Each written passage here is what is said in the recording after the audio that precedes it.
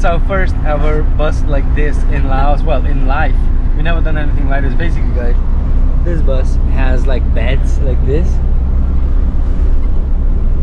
and each one has like its, its own little bed. Like, how cool is that? Room for a cat. Do whatever you want. There's a window open. It's weird. It's like it's not bed, but it's not a seat. I don't even know how to explain this bus. Never been on anything like this before. It's the first time for everything. It's pretty cool. You can literally look through the window.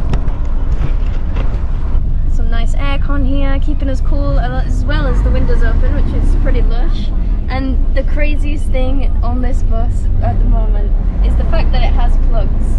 Actual full-on plugs, not USBs for your laptop to go in. That's pretty sick. So I'm looking forward to some movies very soon. Just chill out, have some movies.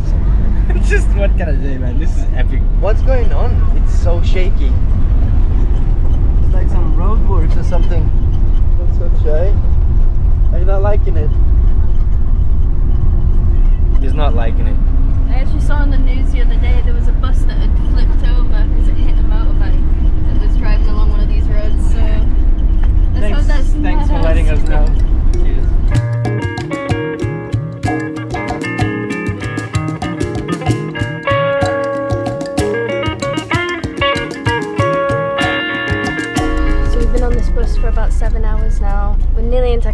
maybe about another 20 minutes, and then we've just stopped because there's a bus has broken down by the side of the road. This one, this one here. I actually saw this bus taking us over and see what happens when you rush. Ouch. So the bus is going to get pretty busy for the last leg of the journey.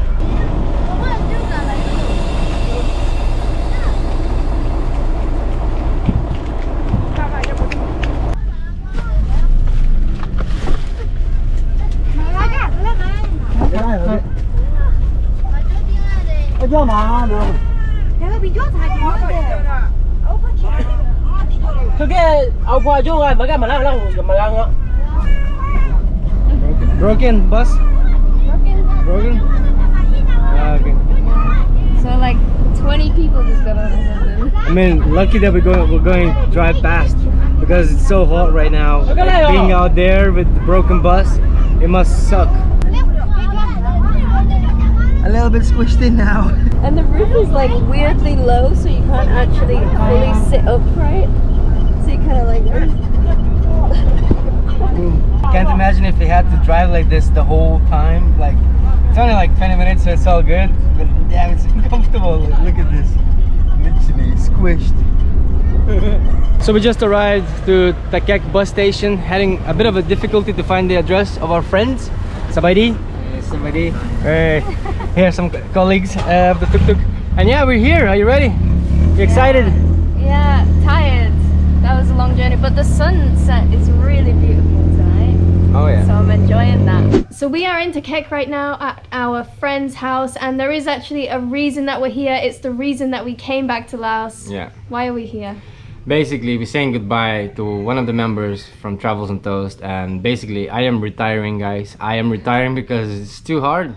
Not getting any views no one's subscribing you know? Like check like it was like 85% of viewers aren't subscribed. Like what the hell? I'm not leaving. It's the cat guys it's chai i'm pretty sure you guessed it as well traveling with the cat it was a bit of a pain in the ass you must have seen it uh, for yourself in our previous videos Yeah, any of you who have just arrived to our channel and like, what these guys on about a cat? What are you talking about? Your travel channel? Basically, two years ago, we got given a cat that was found on the street. He was covered in oil. He was about to die, and you know, we felt like it was wrong to not help this animal. So we took him in, we fed him, we gave him a house, and Yeah, and we basically didn't have Yeah. a place to leave him, and we just wanted to do the right thing. So what we did, we took the cat to Thailand. So we traveled all of the Thailand for like eight months with the cat, Yeah. and now it, it, it's gotten harder and harder. And the cat was not enjoying. Can you imagine cat on the bus sometimes like 12 hours, 15 hours? You know, it's too much Yeah. for a little animal. It's not enjoying this trip. It's not a human. You know, like we enjoyed, the cat doesn't. So where we are now, it's actually really, really good, lovely location. In fact, this is our friend's house, and and the house is epic. It- It's like really big, like very traditional Lao house. This is like they got. Look how big is this space. yeah. And they have been kind enough to take him in, give him a home, and Yeah. make sure he's okay, which is He's a lucky cat. Most cats here in Laos do not get this. Yeah. He's spoiled. So But yeah, this is where we're leaving him. it's kind of sad. It's getting emotional now, yeah? Because basically we're going back to Thailand, guys. We're going back to Thailand today. In fact, in a bit, we're gonna jump into the car. Ten minutes. Yeah, and we're leaving so soon. There he is. Hey up, Schizo. Chai. Come here, buddy. We're not gonna see you for so long. He's probably like, what the hell is going on? Like, I don't understand, guys. Get out. Honestly, we're like we're like, oh, he's gonna miss us so much. It's gonna be so hard. I think it's actually harder for us right now than for him. He's like, whatever, guys. I'm chilling. Bye. By the way, this is Joe, guys. You might have seen Joe in our previous videos. What's up, Joe? yeah, he's the man who's helping us out. Him and his wife, Palita, right here. Boom. Bye. he actually kissed the lens. Oh, bye, honey. Be good. Don't break anything. Stay away from the dog. Mwah. Big kiss on the mouth. Come here. See you later, buddy. Try not to cry. Try not to cry. So now we're going to the Friendship Bridge and then straight into Thailand. Yeah. Yeah, it just happened so fast. We wasn't sure what ride we're gonna get, but all of these people just been helping us out so much to they organize the Yeah. ride for us. They're actually coming with us. We're all going to Thailand. Right, see you later. See, you in a few months. Bye bye. few months. Yeah, see you soon. ไม่ตายอ้าวอ้าวบ่ไปวะอ้าวก็ทุกเครื่องใต้แล้วก็ไปไปไป Alright. โอ้ยเนาะ Fuckers got to go. Got to go. go Go.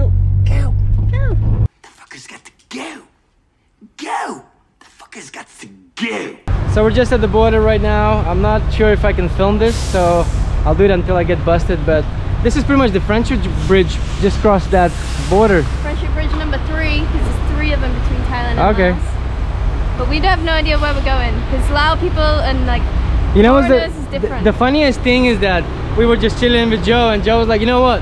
I'm gonna go to Thailand as well, just because I've never been to Thailand before. So he's coming to Thailand. are you excited? Just just to go get some Krispy Kreme donuts. KFC, yeah. for a day. We just successfully crossed into Thai border, right? We just gone past Lao border. Everything's all right. Yeah. Got our stamps. And it's kind of weird because like I feel like kind of like we're breaking. Oh, there's four of us in the back. you gotta love it, you know, like going with the locals crossing the border. It's like feels so privileged, man. Getting a little selfie here with the There we crew. go. Hey. ไม่ Getting those selfies. Where are we?